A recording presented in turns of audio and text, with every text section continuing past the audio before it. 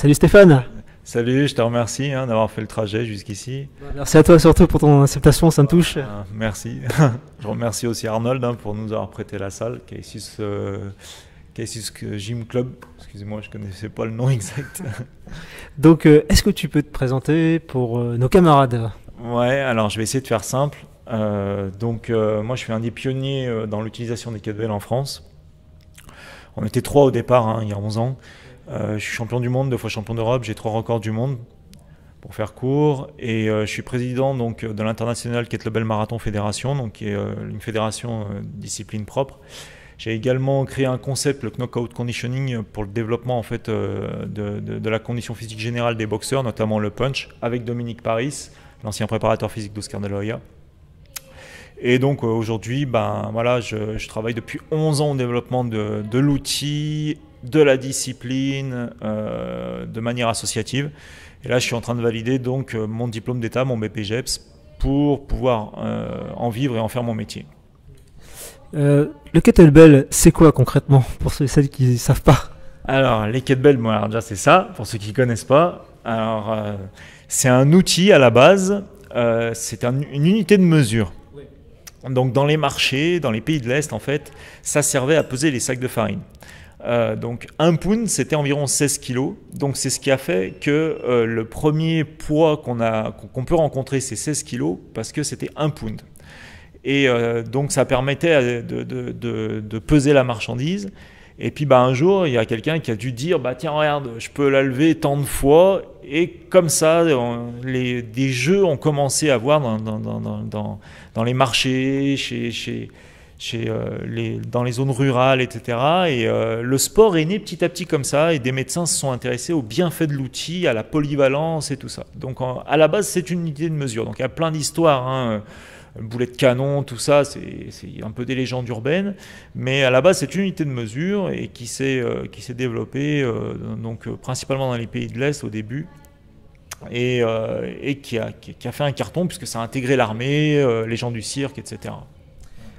Qu'est-ce que le kettlebell euh, nous apporte? Alors, beaucoup de choses. Donc, euh, de manière générale, dans la condition physique générale, ça va améliorer la force, l'endurance, l'explosivité. Ça, ce sont les trois points premiers. Ça a l'avantage, de par la dissymétrie, euh, de renforcer les muscles stabilisateurs, les muscles profonds. Donc là, on va parler un peu plus santé.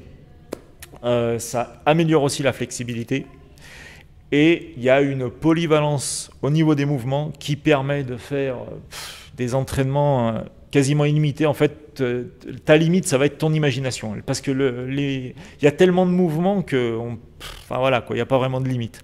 Donc c'est ce qui est intéressant euh, avec cet outil-là. Est-ce que tu peux nous parler de ta fédération?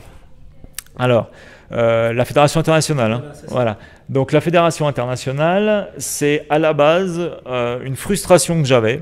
C'est-à-dire que moi, j'ai été euh, champion de Biélorussie, champion d'Italie et tout ça en kettlebell marathon. Mais euh, il existe deux grosses fédérations internationales qui datent de 1948, donc l'IGSF et l'IUKL, qui est, une, qui est une partie de l'IGSF à la base, qui euh, refusaient en fait de reconnaître la discipline du kettlebell marathon en elle-même. Donc après avoir parlementé avec tous les dirigeants russes, etc., lors de séminaires et tout ça, ils voulaient pas, ils voulaient pas. Et j'ai dit, on va tenter le coup. Et on a donc créé une fédération en 2013 avec Sergei Maskevich, qui est un Biélorusse au départ. On était deux pays. Puis Thierry Sanchez, un Danois, nous a rejoints. Et aujourd'hui, on compte 28 euh, pays, dont les États-Unis, l'Australie qui a une énorme équipe, et le Qatar qui vient de nous rejoindre récemment. C'est énorme, c'est une grande aventure. Ouais, c'est un truc de malade, sachant que à la base c'est une passion que j'en vis pas et que chaque jour, je vois la fédération qui s'agrandit, qui s'agrandit, qui s'agrandit, qui s'agrandit. Là, on se prépare pour les futurs championnats du monde en Italie. Euh, on ne sait pas combien il va y avoir d'athlètes, mais euh, euh, enfin voilà, les athlètes ils doublent le nombre à chaque compétition, quoi. Justement, est-ce qu'il y a un âge particulier pour commencer le kettlebell? Alors, ça c'est une très bonne question. J'ai ma fille, elle a 7 ans, je l'entraîne avec des kettlebells de 2 kg. Voilà. Et est-ce qu'il y a un âge pour arrêter? J'ai une femme de 70 ans, Michel Vauquier, qui est en compétition. Donc en fait, la limite, c'est la technique et la bonne ou la mauvaise utilisation. Voilà. Euh, Parle-nous de ton alimentation. Alors au niveau alimentation, je ne suis pas un expert de l'alimentation, Mais je fais de plus en plus attention ces dernières années. J'ai arrêté la viande, j'ai arrêté le laitage, j'ai limité énormément les céréales. Je me consacre beaucoup, beaucoup sur tout ce qui est fruits et légumes. Euh, je mange beaucoup de graines aussi à côté. Euh, après, je craque de temps en temps, hein, une petite glace de temps en temps, un petit gâteau, mais je récupère vite le tir derrière. Et euh, bon, je prends des compléments alimentaires comme la spiruline, hein, parce que mon sponsor c'est Algo Sud. Et effectivement, j'ai pu constater récemment, il, y a, peu de temps, bon, c'était les vacances, je me suis un peu lâché, j'ai pas mangé trop de fruits, j'ai pas mal de glace et de cochonneries. Je me suis senti très faible. J'ai repris rapidement une alimentation un peu plus saine et j'ai ressenti, mais dans les jours qui suivaient, que ça allait déjà beaucoup mieux. Donc euh, l'alimentation, ça c'est sûr, j'en suis plus que convaincu. Mais encore une fois, je ne suis pas un expert. Je suis quelqu'un qui essaye d'améliorer au quotidien les choses. Est-ce que tu as des, conseils pour ceux et celles voulant se, lancer dans le kettlebell? Alors le premier conseil, ouais, c'est de se former. De se former par un spécialiste parce qu'il y a beaucoup de gens qui ont des diplômes d'État qui utilisent les kettlebells mais qui ne savent pas les utiliser, tout du moins qui vont en sortir 10% de l'utilisation de l'outil. Donc il faut vraiment aller chez un spécialiste et on est très très peu nombreux en, France. Et ensuite, euh, il faut savoir pourquoi on l'utilise. Le kettlebell, c'est un outil de conditionnement physique général. D'accord? Celui qui veut faire du culturisme, il faut qu'il aille dans des salles spécialisées pour ça. Celui qui veut travailler sa force pure, il faut qu'il aille faire de la force athlétique. Celui qui veut faire de l'explosivité pure, il faut qu'il aille faire de l'haltérophilie. Là, on parle d'un conditionnement physique général. Donc effectivement, après, il y a la partie sportive si on veut se spécialiser, mais il ne faut pas mentir aux gens.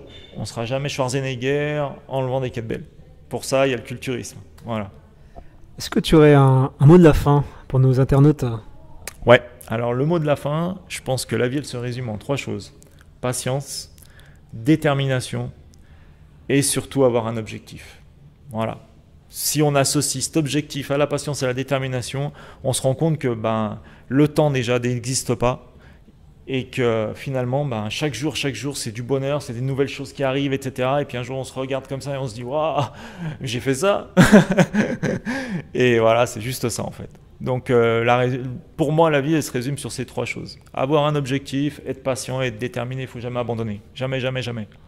Voilà. Bon, bah, sur ce, je te remercie infiniment, Stéphane. Moi qui te remercie, c'était un plaisir de faire ça avec toi.